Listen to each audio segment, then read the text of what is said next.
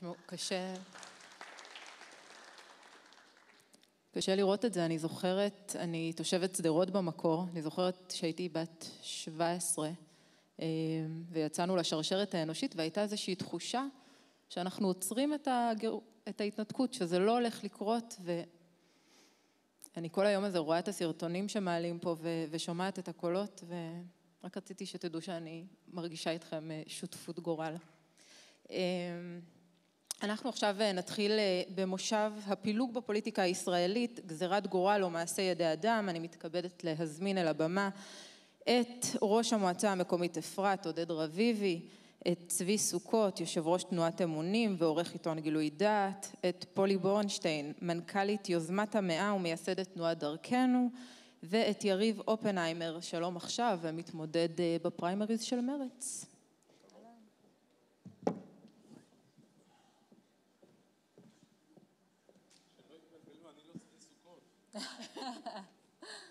כן, הוא בפריימריז השני פשוט. כן, לא, אני לא רואה אותו. צבי הצטרף אלינו? אוקיי, נתחיל בלעדיו. אז צהריים טובים, נעים מאוד שאתם כאן איתנו. עודד, נתחיל ממך. תנסי. תגיד לי את העמדה שלך, לא, אתה יכול להרחיב, אבל העמדה שלך בנוגע להתנהלות האופוזיציה, אני לוקחת אותך קצת למושב הקודם, אבל האופוזיציה בממשלה הזאת שהפילה כל חוק, גם חוקים טובים לימין, חוק יהודה ושומרון, חוקים שנוגעים לחיילים, היית בעד או נגד הדבר הזה? וואו. שאלה קשה. כי המטרה הושגה בסוף, אז... השאלה היא גם מה המטרה, בסדר? אבל כלומר, מי שהגדיר את המטרה להפיל את הממשלה עמד בזה.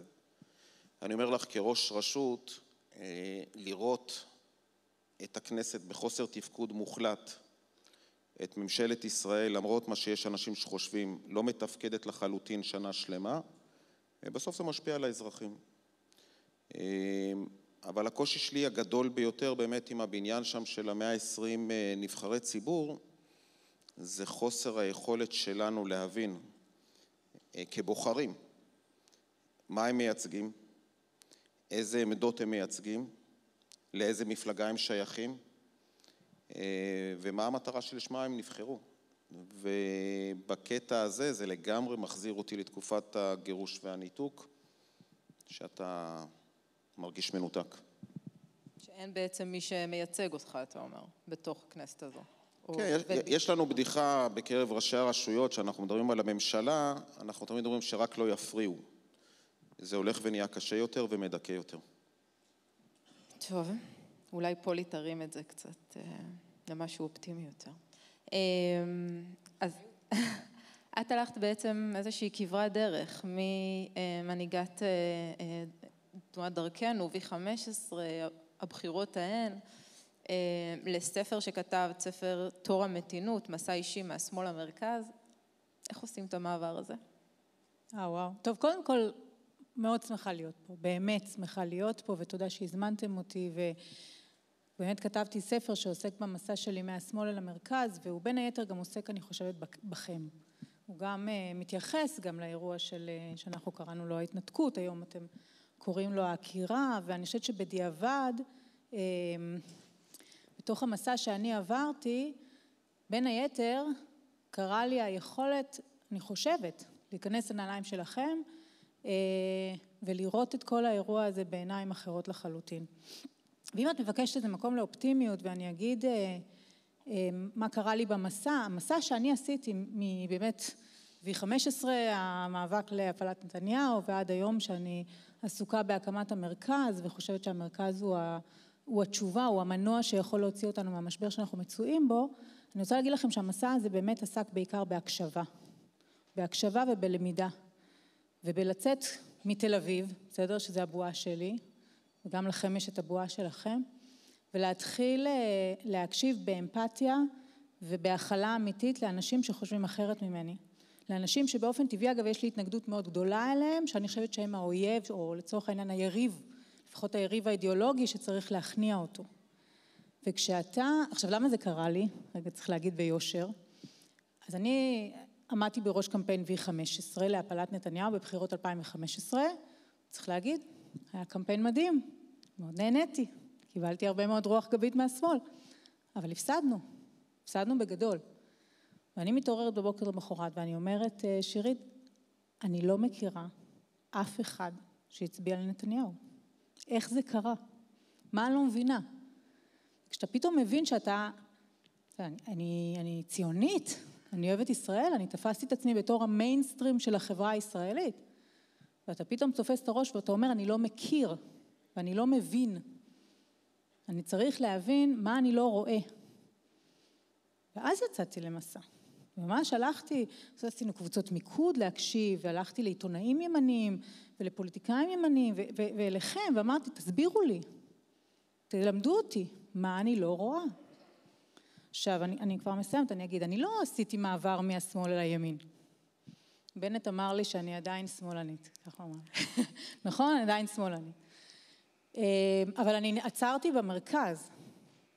לא בגלל שמשהו אה, אמיתי אה, מהותי השתנה בעמדות שלי, פשוט כי המרכז זה המקום שבו כולנו יכולים להיפגש ולנהל דיאלוג שהוא הרבה הרבה פחות מקוטב, הוא הרבה פחות דוגמטי, הוא יותר פרגמטי, יותר מתון, הוא עסוק בשאלה איך למרות המחלוקות האידיאולוגיות המאוד מאוד קשות בינינו ולמרות הדמוגרפיה באמת הבלתי נסבלת שהיא לא מאפשרת, אין פה רוב, איך אנחנו בכל זאת מייצרים תוכנית עבודה משותפת, איך משתפים פעולה, אולי אפילו נרטיב משותף, חדש, ממלכתיות ישראלית חדשה כזאת.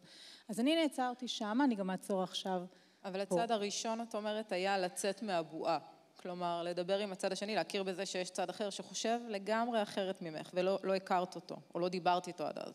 זה, אבל, אבל אתה צריך מוטיבציה. אני, אני אגיד לכם בכנות, בסדר?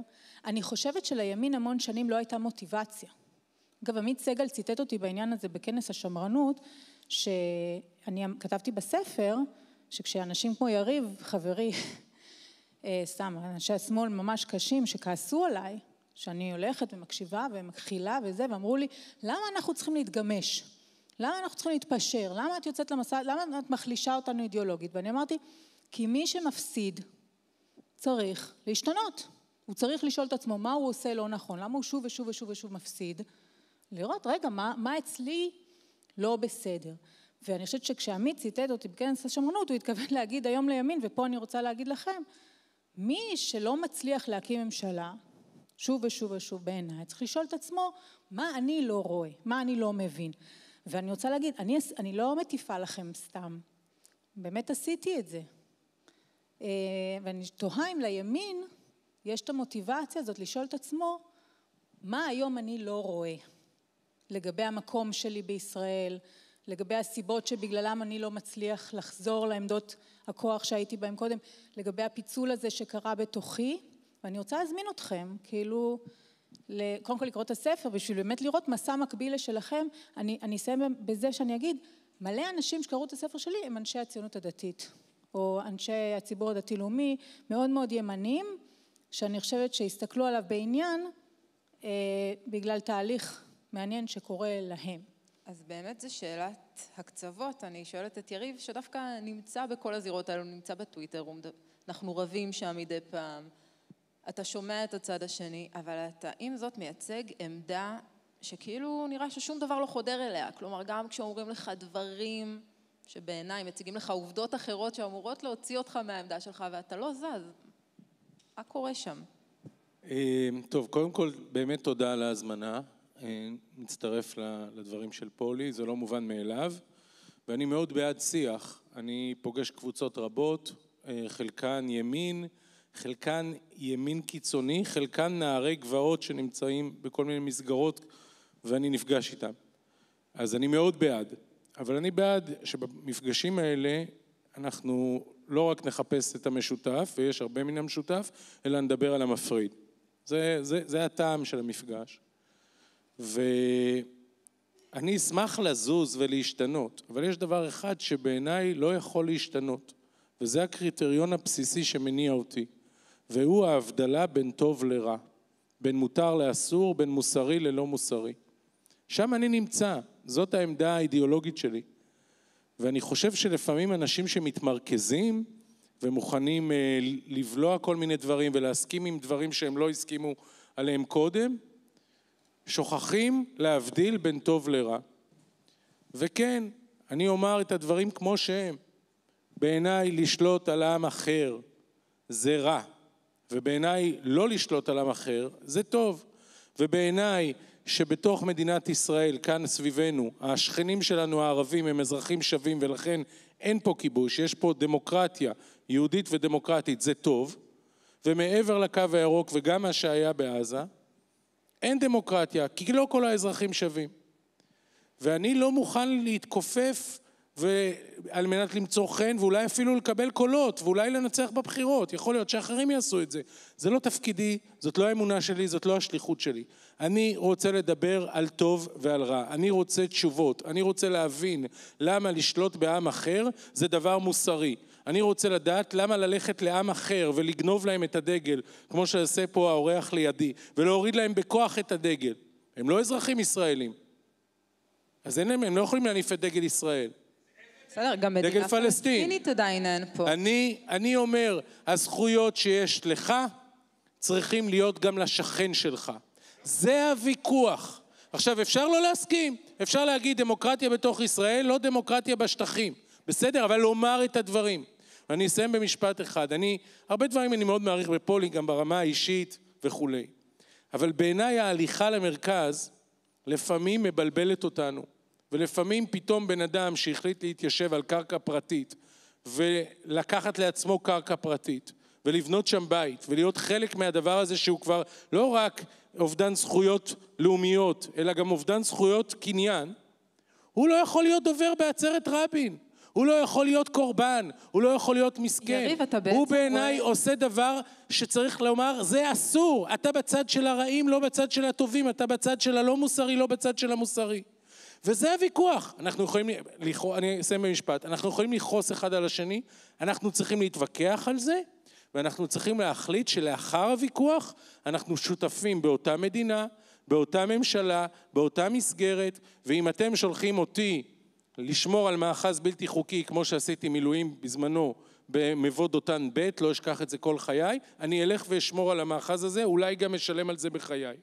אבל אני מצפה שאחר כך, אם תהיה פקודה לפנות את המאחז הזה, אז צבי סוכות, אתם ואחרים, תפנו יחד איתי את המאחז, כמו ששלחתם אותי לשמור עליו, הרוב הישראלי שלח אותי לשמור עליו, כך הרוב הישראלי יכול גם לשלוח אותנו לפנות אותו. כי בלי זה, אדם לאדם זאב. אנרכיה, בית, אה, אה, אה, חורבן בית שלישי. אתה נורא דיכוטומי בטוב וברע שאתה רואה בציבור הישראלי, אבל יש לי תחושה שאתה לא מכיל, יותר מתחושה, לא מכיל את אותם אמות מידה על הצד השני.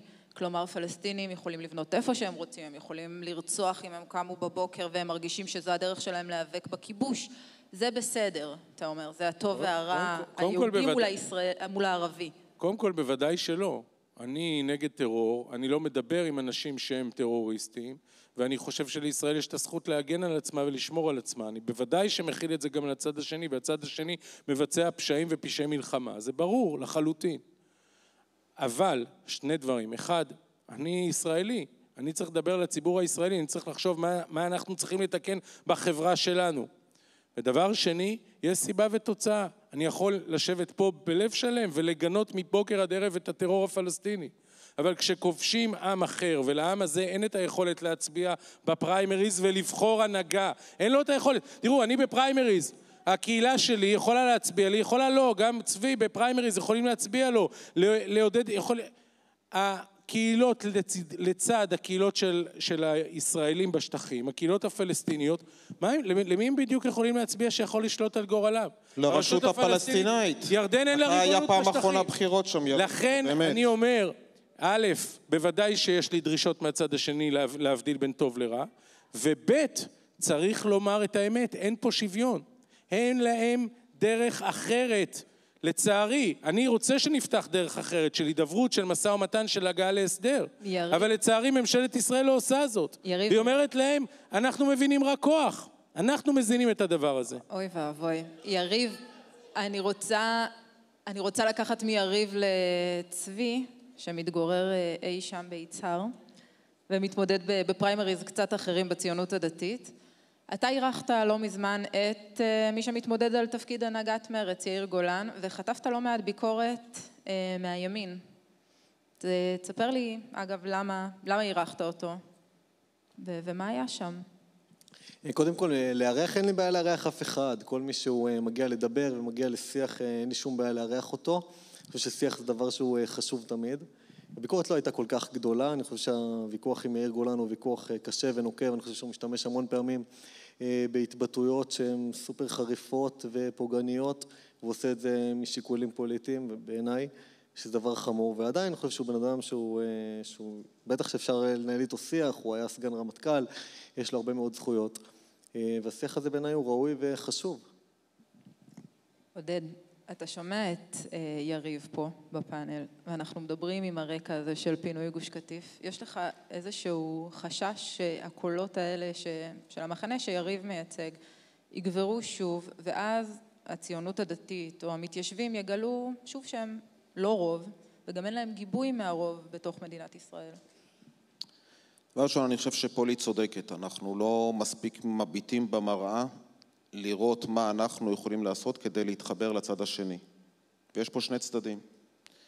אני לא מקבל את ההבחנה שלה שהיא טוענת שהיא עכשיו במרכז, רק בגלל שהיא התחילה להיפגש איתנו, אז כולנו במרכז, כי צבי סוכות נפגש עם יאיר גולן, וגם אני ישבתי בבית קפה בצפון תל אביב עם יאיר גולן. בסוף, זה שאתה נפגש ומכיר אחרים, זה לא אומר ששינית את העמדות שלך.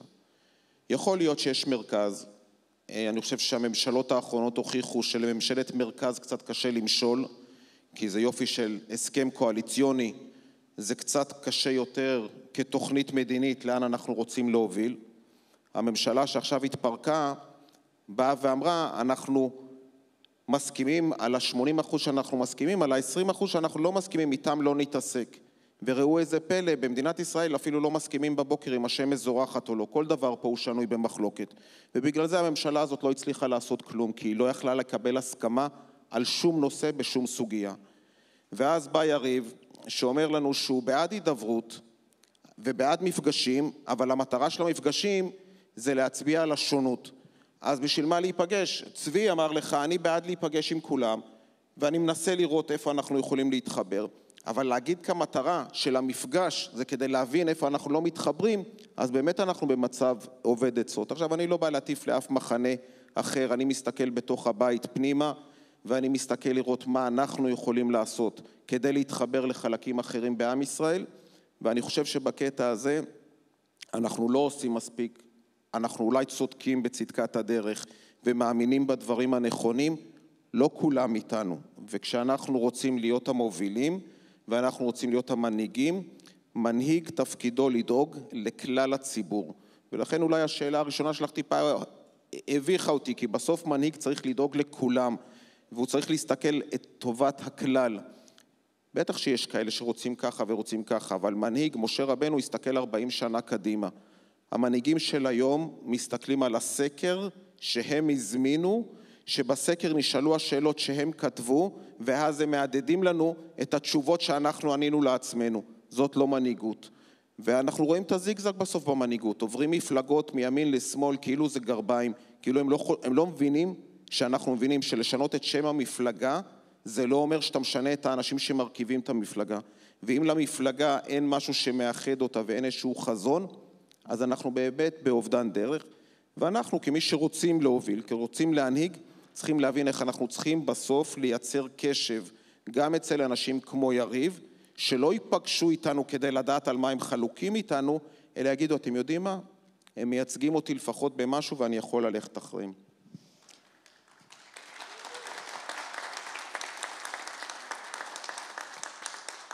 פולי, אני רוצה להתחבר למה שעודד אמר בתחילת דבריו, ובאמת לשאול, האם יש מעבר למקום הזה שאת אומרת עכשיו אני רוצה, אני מדברת ואני שומעת ואני מכירה, יש, יש דרך לשמור על אידיאולוגיה אמיתית, אבל גם להתחבר או לקחת איזושהי אחריות משותפת? מעולה, שאלה תודה. תודה רבה על השאלה. קודם כל אני רוצה להגיד, את צבי סוכות אני לא מכירה, אנחנו נפגשים עכשיו פעם ראשונה, יריב ועודד הם גם חברים ותיקים שלי, הם שניהם כוכבים בספר שלי, אני גם, אני מאוד מחזיקה מהם ומאוד מעריכה את שניהם, אבל אנחנו לא מחזיקים באותן דעות בכלל. עכשיו זה מעניין שאתה אומר אה, שאתה משאיר אותי בשמאל, אני מקשיבה ליריב ואני ממש רואה דרך ההקשבה ליריב ששוב, אני, לא רק שאני מאוד מחבבת אותו, אני מאוד מאוד מאחלת לו להיכנס אה, לרשימת אה, מרץ לכנסת ולהיכנס לכנסת, אני חושבת שהוא השמאל במיטבו, אגב אל תתבלבלו, ואני חושבת ששמאל זה דבר נורא נורא חשוב, וחשוב שהשמאל יהיה חזק, ואני חושבת שהימין חשוב שיהיה חזק, אני חושבת שהאידיאולוגיות האלה, בסדר, הן חשובות, כל אחת מהן אמונה על ערכים מאוד מאוד משמעותיים שישראל חייבת לשמור עליהם, ואני שמחה על יריב, אני סומכת עליו. ויחד עם זאת אני רוצה להגיד שאני לא מרגישה כמוהו, ואני ודאי לא מרגישה כמו עודד, ואני רוצה להסביר למה אני חושבת שמרכז, זה, זה אגב, אני יכולה להמשיך להחזיק בדעות, יש לי עמדות ליברליות, וחלקם אתם תקראו להם שמאליות, זה מאוד נכון, אבל אני היום חיה בתוך מרחב, שאני אגב רוצה להגיד, הוא מאוד רחב והוא צריך להיות מאוד מאוד רחב. המרחב שאני רוצה שיוקם, רוב הישראלים צריכים למצוא את עצמם שם. כי הוא מרחב מאוד מאוד פרגמטי, הוא מרחב מאוד מעשי. זה לא אומר שכל אחד צריך לוותר על הזהות שלו או על עמדות שלו, אבל במרחב הזה הוא מכיר בזה שהוא לא לבד בישראל. וזה אולי הדבר הכי חשוב בשבילי להגיד לכם, מה, קראתי לספר שלי תור המתינות. אז מה זה מתון ומה זה קיצוני? אז אני רוצה להגיד שמתון בעיניי הוא אדם שיש לו אידיאולוגיה ויש לו קווים אדומים ויש לו עמוד שדרה, אבל הוא מכיר בזה שמסביבו חיות עוד תפיסות עולם ועוד אידיאולוגיות והוא מכיר בלגיטימיות שלהם והוא מבין שהוא לא יכול לקבל מאה אחוז ממה שהוא רוצה. וזה הדבר השני שמאפיין את האדם המתון.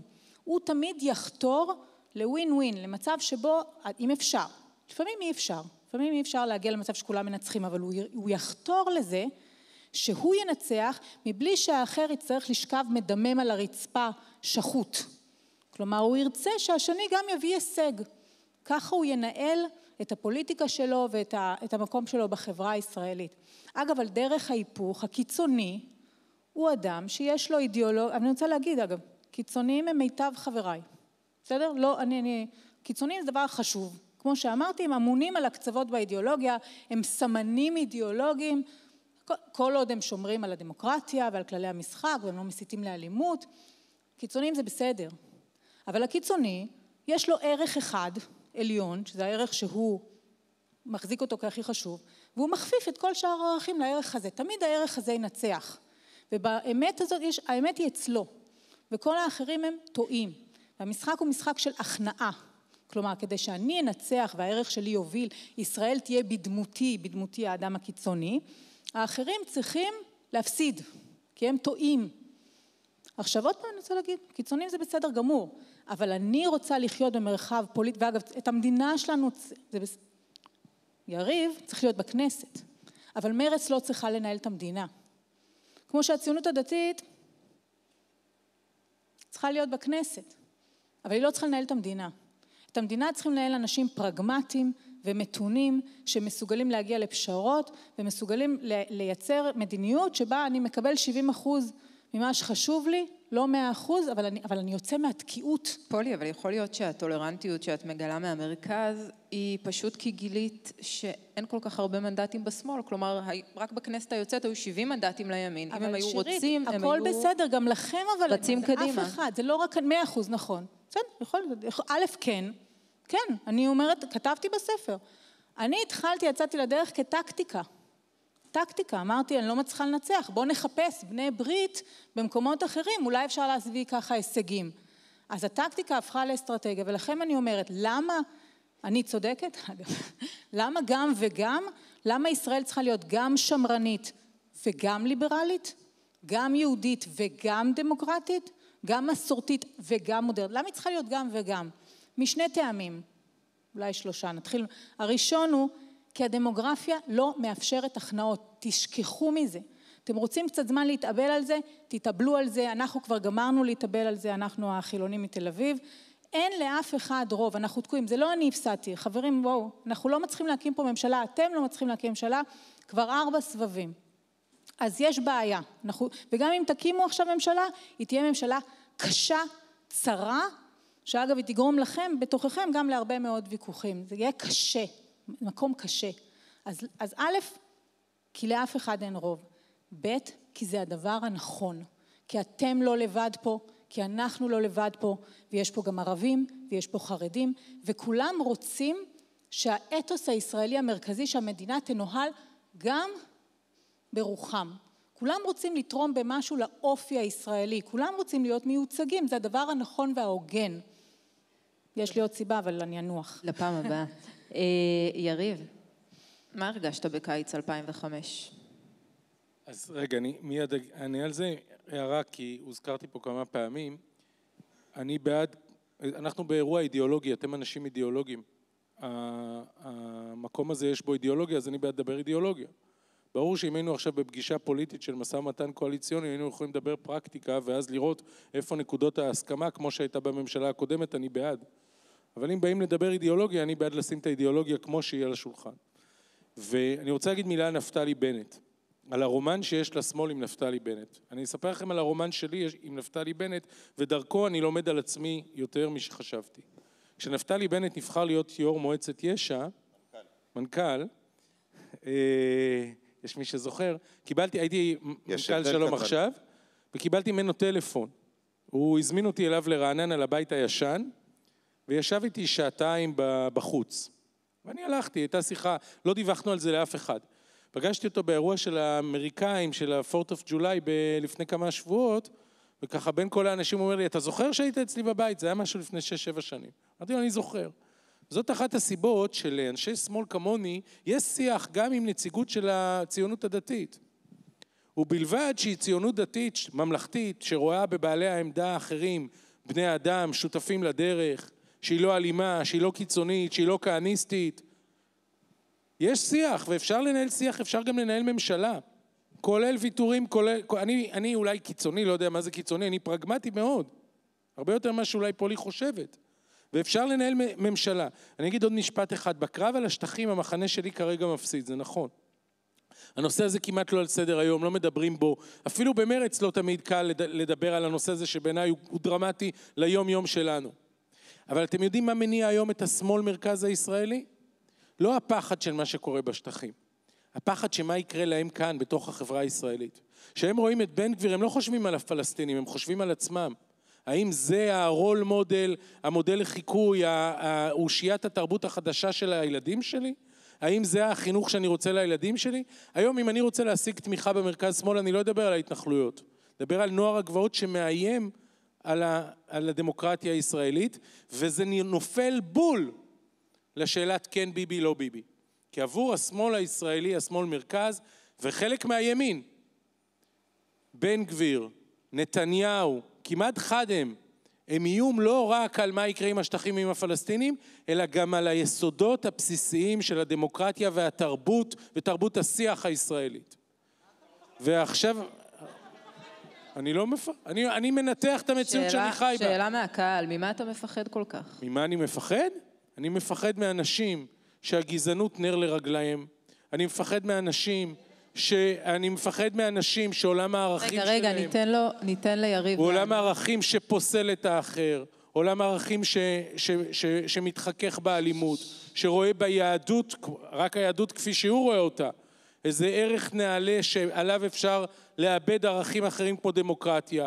אני רואה שילוב של, אה, אה, של מאבק בשלטון החוק פלוס, פלוס אידיאולוגיה ימנית קיצונית, ואתם יודעים מה, עזבו אותי, תקשיבו לכל האנשים שברחו מהדבר הזה, תקשיבו לזאב אלקין, תקשיבו ליועז הנדל, תקשיבו לנפתלי בנט, תקשיבו לבני בגין, לא אנשים של ארץ ישראל השלמה. אתה מערבב... הם מפחדים לא פחות ממני מהדבר הזה. אתה מערבב אידיאולוגיות, הם עזבו בגלל הרק לא ביבי, זה שדה אחר. הרק לא ביבי זאת אידיאולוגיה, חברים. רק לא ביבי זה לא נכרות ברית עם כהנא בשביל למלט ראש ממשלה מכתב אישום.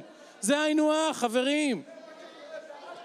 לכן אני אומר בצער, אני איתכם גלוי לב, אני הייתי שמח שהוויכוח יהיה כן שטחים, לא שטחים. אני חושב רגע, שעתידה רגע. של המדינה, עתידה של הציונות הוא בוויכוח הזה. יריב. אבל האנשים שלי התייאשו מהוויכוח הזה. הם עכשיו מפחדים יריב. שהכהניזם יהיה חלק מעולם הערכים של הילדים שלהם בבתי הספר. יריב, רגע. מותר, מותר, מותר לא להסכים.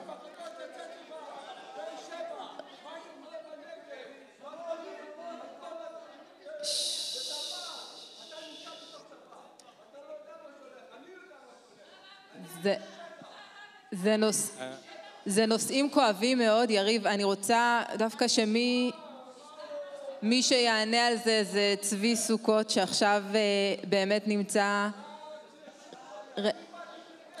אדוני, אני אשמח אחרי השיחה לדבר איתך, יש לי עוד זמן, אני נוכל לדבר. יר... אנחנו... יש לי תחושה שעל הבמה יש פה מישהו עם רמקול שיכול לענות בשמכם ליריב בצורה מצוינת, אז אני מעבירה את זכות, אה, זכות הדיבור לצבי. תודה רבה. קודם כל אני רגע, רוצה... רגע, רגע, אנחנו ניתן לצבי... אנחנו נשאל אותו, אנחנו נחזור לזה, אבל אנחנו, אני רוצה לשמוע את צבי. אני יודעת שאתם סקרנים. קודם כל, בדיוק. מה שהיא אמרה, אני חושב שזה הדבר הכי מדהים פה. הרי את שאלת אותו מה הוא הרגיש בקיץ 2005, והוא לא ענה על זה. למה הוא לא ענה על זה? כי הוא לא הרגיש כלום בקיץ 2005. אני אשמח לענות, שנייה, לא, לא, שיהיה לא, אני לא זמן. הפרעתי לך באמצע, גם אתה לא. תפריע לי. אתה דיברת פה באריכות ולא התייחסת לשאלה שלה, ולא סתם. למה לא התייחסת? כי מבחינתך יש פה איזשהו ויכוח אידיאולוגי נחמד שמתנהל על הספה, ואתה שוכח שתלשו ילדים מהבית שלהם בשם הוויכוח שלך, כדי להביא מקום לחמאס, כדי לתת אה, מקום שיראו ממנו טילים על כל מדינת ישראל. ומה... בסופו של דבר, הדברים, הוויכוח הנחמד שאתה אומר, ואתה אומר, יש לנו פה ויכוח אידיאולוגי נחמד ומנומס, אתה שוכח שבסופו של דבר הוא יתבטא באלימות, בעיניי באלימות לגלית. אלימות שהשלטון הפעיל כלפיי, כלפי האנשים שיושבים כאן, כלפי אנשים שגרו בגוש קטיף, זה אל- אלימות, אלימות שהשלטון הפעיל, תלשו אותנו מהבית, תלשו אותנו מהבתים. עכשיו, זה לא רק אלימות, זה גם עידוד של הטרור. כשאתה הולך ומצטלם עם אנשים שהם תומכי מחבלים, תומכי טרור, זה אנשים, אבא של אשתי נרצח בפיגוע. אתה מצטלם עם אנשים שמממנים את הרוצחים שלו שיושבים בכלא. הדבר הזה הוא לא ויכוח נחמד שאנחנו מנהלים בכיף. הדבר הזה הוא ויכוח מלא אמוציות. זה שאתה עושה אותו בנחת וב- ובשלווה, ונוח לך לקרוא לאיתמר בן גביר קיצוני, זה בגלל שהוא אומר לך את האמת בפנים, בגלל שהוא עומד וצועק.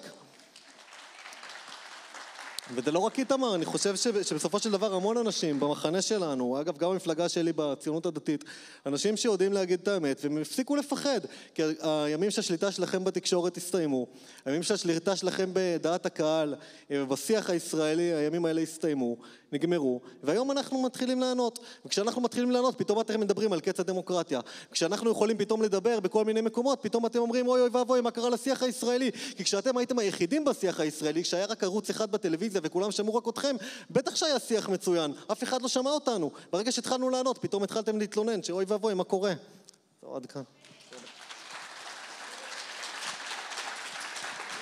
אני, אני מתלבטת אם לתת לך לענות על מה הרגשת ב-2005, או שזה מסוכן מדי. אני צריכה את זה במשפט כי זה הסוף. אני ב-2005, אף אחד לא יודע את זה כי לא פרסמנו את זה, נסענו ל- ליציאה מגוש קטיף אה, ועזרנו בחממות.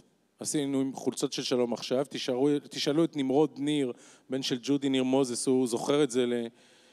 לא, לא, לא עשינו מזה יח"צ, כי לא רצינו לעשות מזה יח"צ, אז הרגשנו הרבה אמפתיה לאנשים שגם גם האידיאולוגיה שלהם אה, אה, בעצם לא מגיעה לידי מימוש, והם באופן פיזי ממש צריכים לעבור בית, לעבור קהילה, אה, להגיע לניצן ולכל המקומות האלו.